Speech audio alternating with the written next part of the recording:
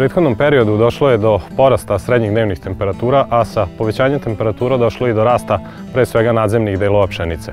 Ono što nas očekuje u narednom periodu jeste posao koji je do nas i koji moramo da uradimo ako želimo uopšte da pričamo o postizanju visokih prinosa, a to je zaštita pšenice od bolesti i korova. U tu svrhu kompanija Corteva vam preporučuje kombinaciju svojih novih preparata Quelex i Univok.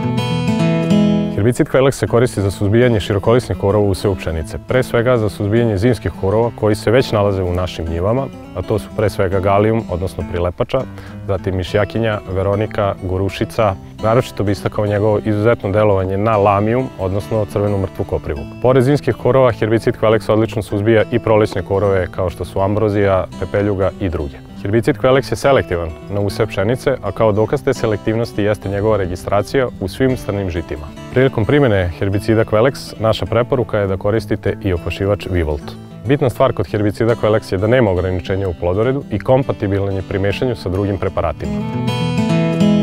Po drugim preparatima podrazumijemo fungicide radi zaštite pšenice od bolesti, a u tu svrhu kompanija Corteva vam preporučuje svoj novi i jedinstveni fungicid Univok. Univok sadrži dve aktivne materije koje odlično deluju na bolesti stabla i lista pšenice, a to su septorija, pepelnica, rđe i pegavosti. Zahvaljujući svojoj novoj IQ4 formulaciji, prilikom prskanja fungicidom Univok pokrivenost lista i sa lica i sa naličja je 100%.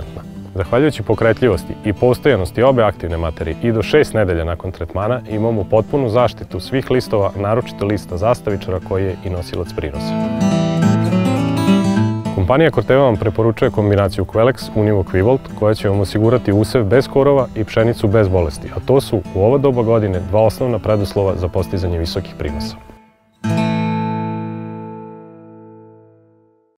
Domaćin će svaki znati dobar savjet se isplati sa novog portala Vreba Savjeti sa Agroneba. Posjetite ovog trena i nestaće ta dilema.